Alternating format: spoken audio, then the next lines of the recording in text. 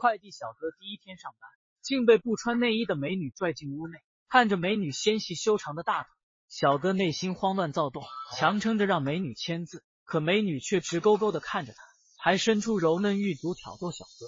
小哥哪里见过这种场面，顿时被吓得呆若木鸡，丝毫不敢。美女趁机把小哥推倒在沙发上，开始对小哥动手动脚。干快递的工作这么累。你有没有想过我干？可这个小哥实在不解风情，他竟猛地推开了美女，美女却丝毫不介意。我刚洗完澡，觉得有点口渴。你送了一天的包裹，也累了吧？要不然去倒两杯水啊？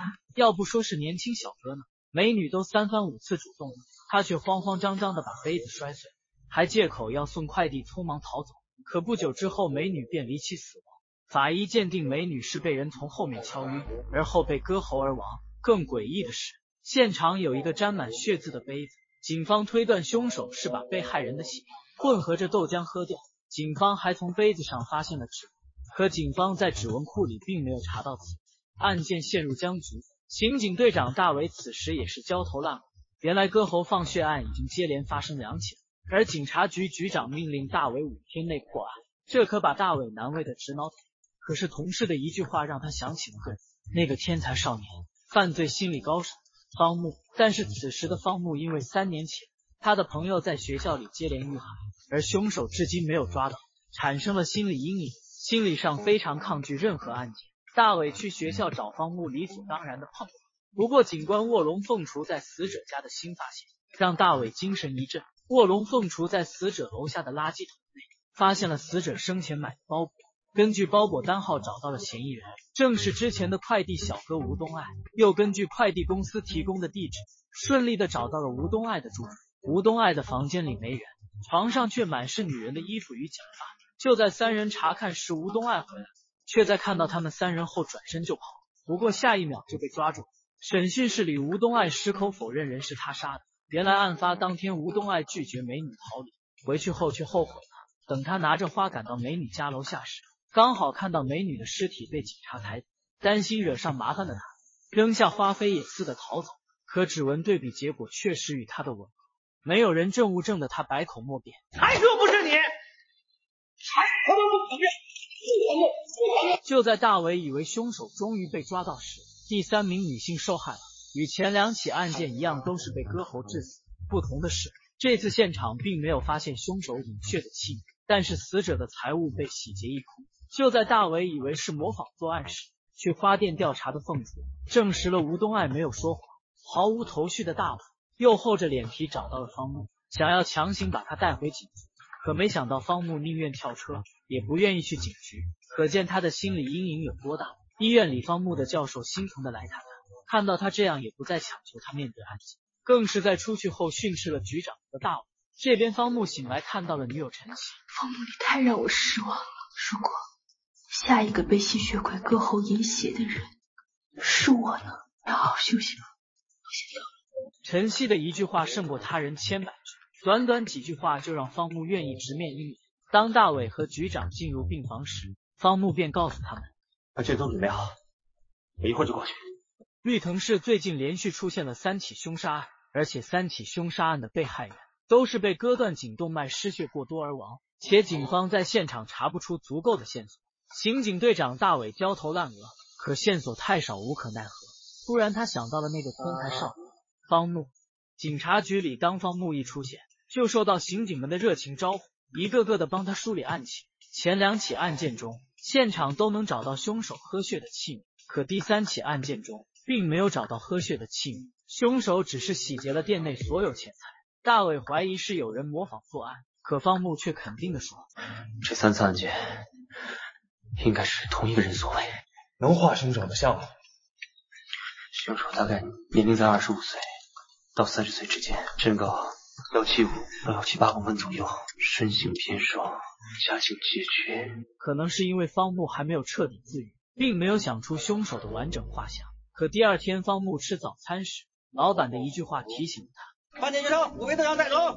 方木瞬间明了，立马打电话告诉大凶手对血液的需求量越来越贫足，所以他开始储存血液。第三起案发现场没有杯子，也是因为死者的血被外带，而拿走钱财也是为了购买活血设备，并且推理出下一个死者还会是女性，并且一定会被抽干血液。通话的同时，大伟正好到了案发现场，但眼前的场景和方木推理的完全不同。正巧此时陈曦来找方木，在陈曦的鼓励下，方木来到了案发现场，但再次看到如此血腥的场面，方木还是承受不住，跑出去吐了出来。晨曦温柔的鼓励着他，低头时，方木在地上发现了一个纽扣，猛然间他想到了什么，转头跑回去，在案发现场翻找了起来。还有一个被害人，一个孩子。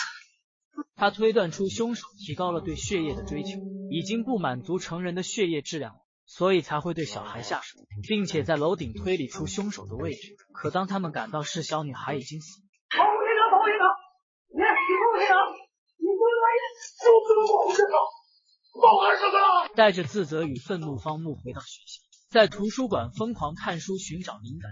孟班长，你知道吧？这些都是他做的标记。突然出现的舍友一句话让他受到启发。于是他赶忙找到大伟和教授，说出凶手的样貌特点。凶手身高大约一米七二左右，年纪三十出头，偏瘦，头发长且脏乱，神情恍惚，眼神中带有绝望的焦虑。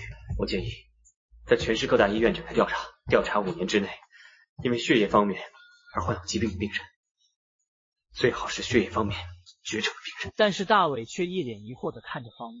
方木说出了他的推理，因为凶手的加害对象和作案凶器都是随机的，所以他们一直以为凶手的标记是吸取人血，其实不然，凶手需要的是更多新鲜的血液。与此同时，教授根据方木的行为画出了凶手的画像，一个阴郁狠厉的形象赫然出现。大伟通过小卖店老板得知确有此人，局长立刻在全市下达通缉令，三天之内找到此人。突然，方木跑到局长面前。根据凶手的作案时间，他推断出凶手会在今天再次杀人。卧龙此时也带来了医院的消息，他们查到确实有个血液患者，他叫马涛，二十七岁，二零零六年入院，骨龄症晚期。但是骨龄症从病发到死亡不会超过两，所以这个马涛已经死亡。而他的父亲五年前也是死于骨龄症，且家里没有其他人。就在几人束手无策时，外面的吵闹声吸引了众人。原来是长青路片警徐立东找了过来，他说自己的女儿被凶手掳走了，是邻居家的小孩亲眼看到的。方木大胆推测，这个凶手不是卟啉症患者，他对血液的需求出自对死亡的恐惧，他觉得自己会像卟啉症患者一样惨死。这个凶手一定和马向文父子有关联，可警方查到的户籍档案，马向文家里再没有其他亲人了，那这个凶手到底是从哪冒出来的？可方木坚信马向文一定还有个儿子。这个凶手因为看到父亲和哥哥的惨死，患上了无法排解的心理绝症，而这种心理并无法被人理解，所以他才会生饮人血。其实他根本没病，更不是吸血鬼。凶手犯的完全是心理罪，而且他一定住过精神病院。全市的精神病院只有一个，在那里肯定可以找到凶手的资料。而且凶手现在急需干净新鲜的血液，所以凶手一定藏匿在长青路附近的一家废弃医院里。而后大伟立马想到。长青路有个废弃的老三院，众人立刻赶往。这边卧龙也确实在精神病院找到了凶手的资料，原来他叫马凯，是马涛的弟弟，两个月前出的院。凤雏此时也找到了马凯的住址，于是警方兵分两路，大伟带队前往老三院，另外一队前往马凯的住所搜索。当警方赶到后，很快就在马凯的冰箱找到了大量的血液和证据，而大伟这边也顺利的找到了马凯。但为了不打草惊蛇，大伟翻上屋顶，破窗而入，一脚踢倒了马凯。但狡猾的马凯拿起手术刀胁迫小孩。就在场面陷入僵局时，一个婴儿的哭声突然响起。渴望新鲜血液的马凯被成功吸引，魔怔的向窗外望去，看到的却是方木用手机放的声音。就这样，吸血鬼马凯被逮捕，而方木帮助警察成功破案后，终于走出内心的阴霾。重试三年前的案件，完成毕业论文，但他绝对想不到，一个更大的阴谋正在等他破解。